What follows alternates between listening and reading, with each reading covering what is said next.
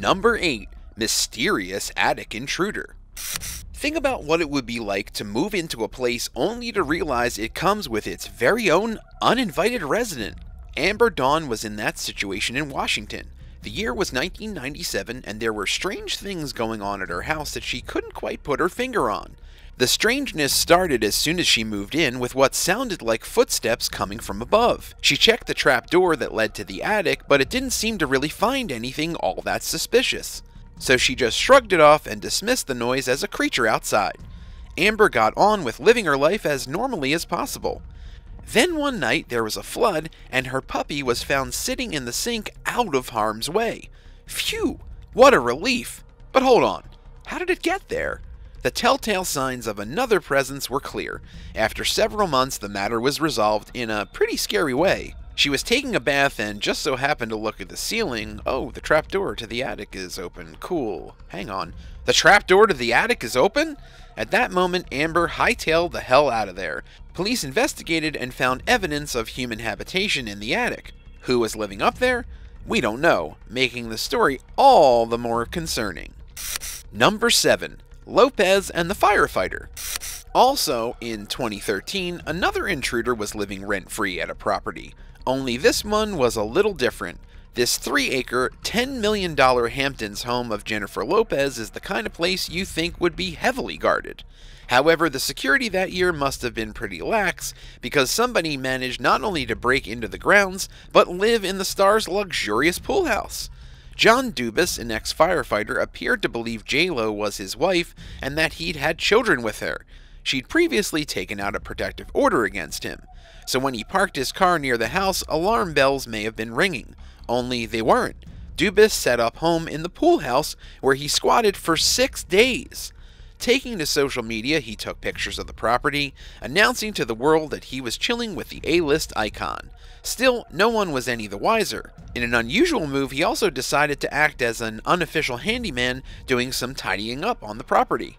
It was only when he was spotted on the back porch that the penny dropped. At a reported three acres, we're guessing it would be fairly easy for someone to conceal themselves. However, Mr. Dubus managed to become practically a tenant right under everyone's nose. We're thinking the security team might have had a rethink following the whole episode, and it's a stark reminder that, despite having untold riches and all that fame, being in the public eye isn't all glamorous premieres and music videos. Are there any other celebrities you know of that had something like this happen to them? If you can think of any, let me know in the comments below and also don't forget to like this video and subscribe if you haven't already. Number 6. Denver Spider-Man The story of the so-called Denver Spider-Man concerns another unwanted house guest. However, this particular invader played an epic game of cat and mouse, or should that be cat and spider? How did the tall, thin attic dweller Theodore Coneys come to be in the house of retiree Philip Peters that night in 1941? Well, it all started with the strum of a guitar. Peters frequented the Denver Guitar Club. His wife Helen was laid up in hospital with a broken hip, so he was living alone in their house at the time. Another man named Coneys also liked to hang out at the Denver Guitar Club. Coneys was seriously down on his luck and in need of charity and a good meal and apparently a place to stay. He figured he'd drop by Peter's place one night while Peters was at the hospital. The place was empty, and Coneys made the fateful decision to break in and grab some food and shut eye. The first time went off without a hitch. Peters never even knew Coneys had made himself comfortable. However, the second time had an unexpected and horrific result. Coneys was reportedly looking into Peters' icebox when he was suddenly confronted by Peters himself. Who knows what went through both men's minds? Did Peters recognize Coneys from the club? Looked like there was no mistaking him. Did Coneys try to explain what he was doing there? Either way, Peters wasn't happy. The men grappled. Coneys proceeded to attack Peters with his own stove shaker, killing him with the blows.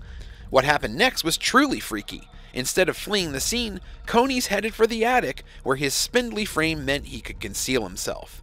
When police arrived, they searched the house for evidence but found nothing. When poor Helen Peters got out of the hospital, she was horrified by what happened and eventually moved from the property. The house stood empty, but neighbors reported a foul smell coming and weird noises from the house. The police then decided to stake out the house. They had two detectives parked outside the house watching and waiting. They knew there was someone at large. All they needed was to catch them in the act. As Coneys appeared, the detectives made their move. His thin legs were spotted just as he retreated to the attic. They grabbed him and pulled him down. He was then taken into custody where he confessed his crimes and told his story. The Spider Man, as he became known, had spun his last web. An extraordinary tale of crime and endurance, the tale lives on for future generations to shudder at whenever they need to access their roof space. Number 5. Cupboard Women of Japan. In 2008, a resident in Kasuya in Japan noticed things in his house weren't always in the same place he left them, and food kept going missing out of his fridge. He was half convinced he had a sleepwalking and sleep eating condition. He decided to get to the bottom of it. He installed cameras all over his house and had the feed set up so he could view them from his phone when he was away. Incredibly, a woman around the same age as him had been emerging from his closet to take food from the fridge. How does someone live in a closet? We can't get our heads around it, but reportedly she was staying on the top shelf. It isn't clear how she accessed the home in the first place, much less come up with the idea of hiding in the closet. The story reminds us a little of the movie Parasite. Anyway, she concealed herself very successfully, and police speculated this wasn't her first time doing this kind of thing. Number 4. The Guy from Toys R Us. A North Carolina branch of Toys R Us went from playtime to crime time when crook Jeffrey Manchester decided to move into the place in 2005. This story has more twists and turns than a game of snakes and ladders. Manchester wasn't just some guy who wanted to take from Toys R Us, he actually lived on the premises in secret and had been there for some time. The jailbreaker had a secret cubby in the bicycle department. Cops stumbled onto his impromptu lodgings after arresting him. When the Christmas rush became too much, Manchester actually created another hiding space next door in an electronics superstore. While he was there, he built a den beneath the staircase, spent his time watching DVDs and playing Xbox, both he stole from the store. So, what was the routine for a man living in a toy store? He reportedly consumed baby food, rode bikes, and played remote control cars. He even went as far as decorating his personal space, which came with its own convenience in the shape of a bin for nappies. The less said about that, the better, we're thinking. He even had a smoke alarm and fire extinguisher, showing that while he had a total disregard for law and order, at least he respected health and safety. Oh, and there's one more thing. Manchester was known in the community as a good Christian soul named John Zorin. Talk about a curveball, right? He appears to have got the name from the Bond villain Max Zorin, played by Christopher Walken. Speaking of movie stars, talk is rife that the eye popping story might be on film someday. This enterprising intruder had everyone fooled. Number 3. Restaurant Roof Dweller. Running a restaurant entails all kinds of rules and regulations. Having an infestation of rats, for example, is a no no. But there are some unexpected visitors that just can't be predicted, like in 2014 when a grown man was found living in the roof space. Actually, the guy was only found out because one day he came crashing through the ceiling. What kind of insurance form do you fill out for that? The restaurant is located in Denver, also home to the Spider Man we mentioned earlier, by the way. The man's chaotic and quite dramatic appearance brought police running. When he fell, he ended up in the wall space where he had to be cut out with a chainsaw. Reportedly, there had been a lot of alcohol consumption going on up in that ceiling, so if the dude was drunk, that certainly would have sobered him up fast.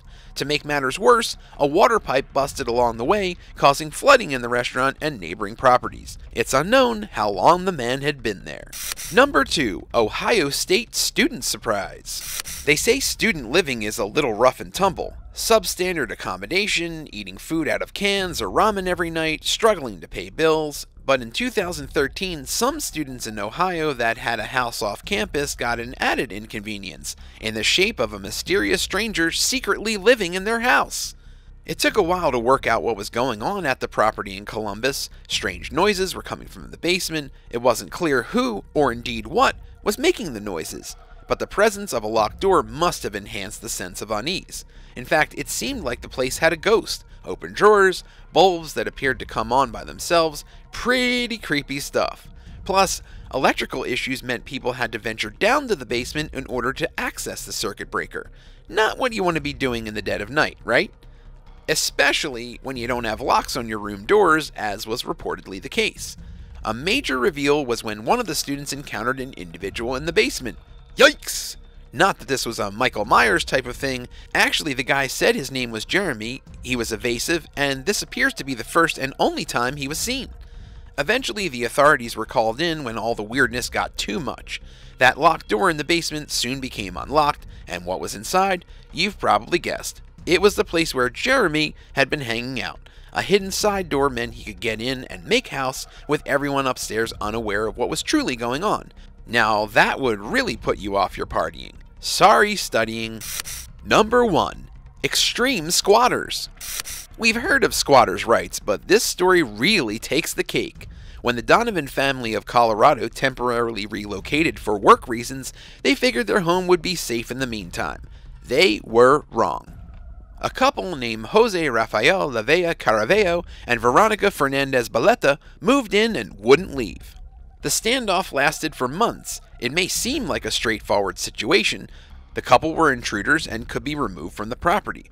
Well, it wasn't as simple as that, unfortunately, for the Donovans. When someone squats in your home, it's a civil matter, meaning the police can't arrest the unwanted guests or anything. According to Leyva Caraveo and Fernandez Baleta, the place was theirs. What's more, they'd forked out $5,000 to claim it, and everything was nice and legal. Turned out it wasn't nice and legal, but the reason was enough to tie everything up in knots. Where did the Donovans live while the drama played out? They reportedly stayed in a relative's basement. You know how we were talking about strange people who hid in unsuspecting homeowners' attics or basements? This time it's the rightful owners who are having to live in weird conditions. A court order to evict the couple should have been the end of the story, yet when one of the pair filed for bankruptcy, it protected them from being thrown out, at least as quickly as the Donovans would have liked. The process sounds really frustrating, and a worrying lesson that a house is not always a home. Thanks for watching. What do you think of these stories of strange people living in other people's homes?